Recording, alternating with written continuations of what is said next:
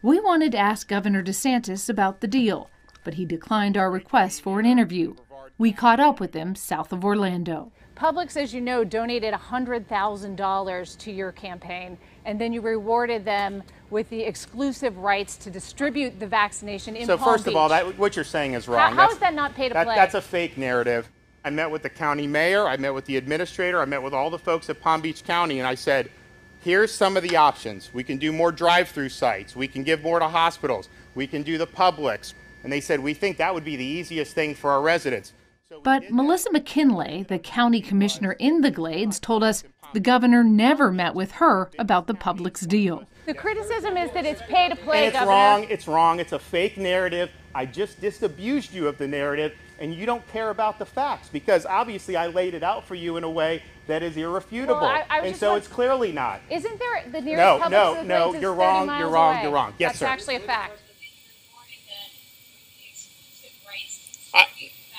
So first of all, that what you're saying is wrong. That's that that's a fake narrative. So first of all, when we did the the first pharmacies that had it were CVS and Walgreens, and they had a long-term care mission. So they were going to the long-term care facilities. They got vaccine in the middle of December.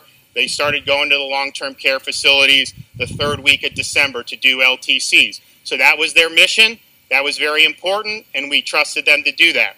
As we got into January, we wanted to expand the distribution points. So, yes, you had the counties, you had some drive through sites, you had hospitals that were doing a lot, but we wanted to get it into communities more. So, we reached out to other retail pharmacies, Publix, Walmart.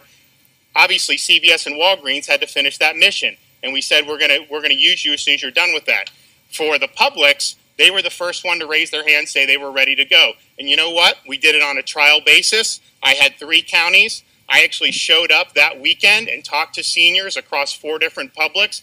How was the experience? Is this good? Should you think this is the way to go? And it was 100% positive. So we expanded it, and then folks liked it. And I can tell you, if you look at a place like Palm Beach County, they were kind of struggling at first in terms of the senior numbers. I went, I met with the county mayor, I met with the administrator, I met with all the folks at Palm Beach County, and I said, here's some of the options. We can do more drive through sites, we can give more to hospitals, we can do the Publix, we can do this. They calculated that 90% of their seniors live within a mile and a half of a Publix. And they said, we think that would be the easiest thing for our residents. So we did that. And what ended up happening was you had 65 Publix in Palm Beach. Palm Beach is one of the biggest counties, one of the most elderly counties.